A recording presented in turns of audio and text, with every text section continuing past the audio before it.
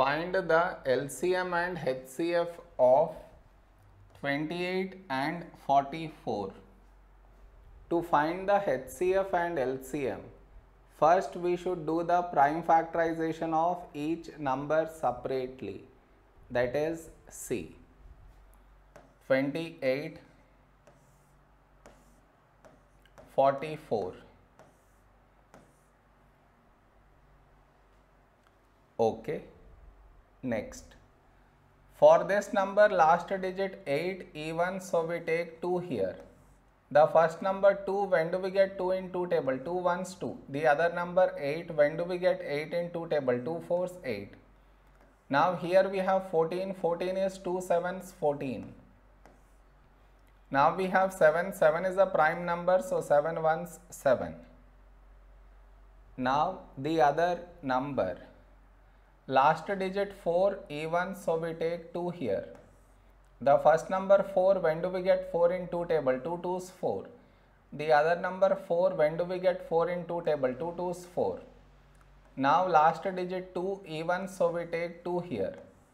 First number 2 when do we get 2 in 2 table? 2 ones 2 the other number 2 when do we get 2 in 2 table? 2 ones 2 now here we got 11 11 is a prime number so 11 ones 11 so now our HCF is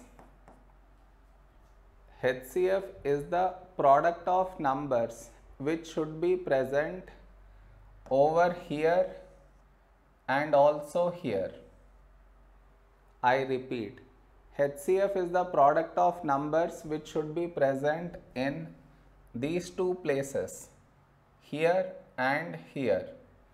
So now let us find the numbers which should be present here and here.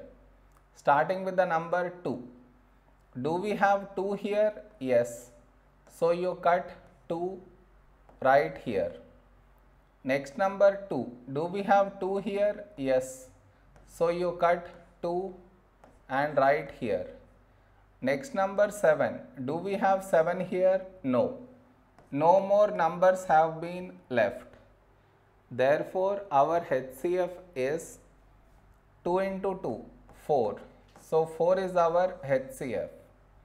Now, to get LCM, whatever HCF we got, to this we should multiply by the numbers which we did not cut. What I mean is C. Over here 7 not cut, so you cut 7 right here over here 11 is not cut so you cut 11 and right here. Now each number has been cut. Understood cut. So our LCM is 4 into 7 28 into 11 we get 308. This is our LCM. Am I clear